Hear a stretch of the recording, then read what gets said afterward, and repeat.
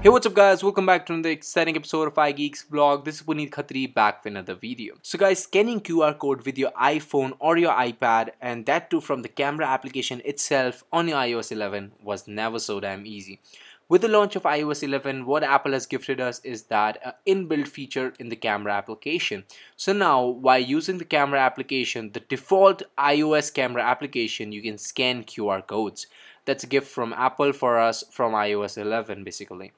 So this makes your task much more easier because now no longer you need to go ahead and download third-party applications to scan a QR code which means easily right from the camera application of your iOS device you can connect to Wi-Fi networks, download links, uh, or you can just share calendar events and lot more.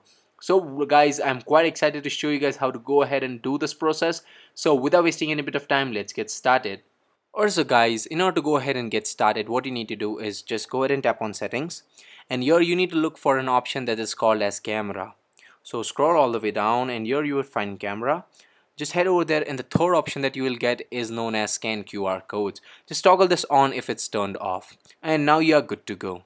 Also guys, once you have toggled the switch on for recording uh, QR codes or scanning QR codes, what next you need to do is that open the camera application. Once you open the camera application, what you need to do is point the camera towards a QR code. So now I'm going to scan an application QR code that is iGeeks blog application. So let me just scan the QR code. So as you guys can see, once you scan the QR code, you will have this pop-up up saying that App Store QR code because as I told you, this is an application QR code. Tap on this pop-up and it will take you directly to the App Store to download the application. So make sure guys you download this application because we have really great content. Accordingly, you can scan any QR code and you would get the pop-up to open that link or that application or the URL or whatever it is. Also guys, if you wish to any point in time turn off this feature from your iOS device, what you need to do, tap on settings, scroll all the way down and look for camera. And here you have this third option that says scan QR code. Just toggle this off and now no longer your camera application will be able to scan the QR codes. Alright so guys, now we come to the end of this video. I hope you enjoyed this video. This video was all about how you can use the native or the by default camera application of your iOS 11 running device to scan QR codes. So this is damn easy process now, no longer headaches of downloading third-party application and all.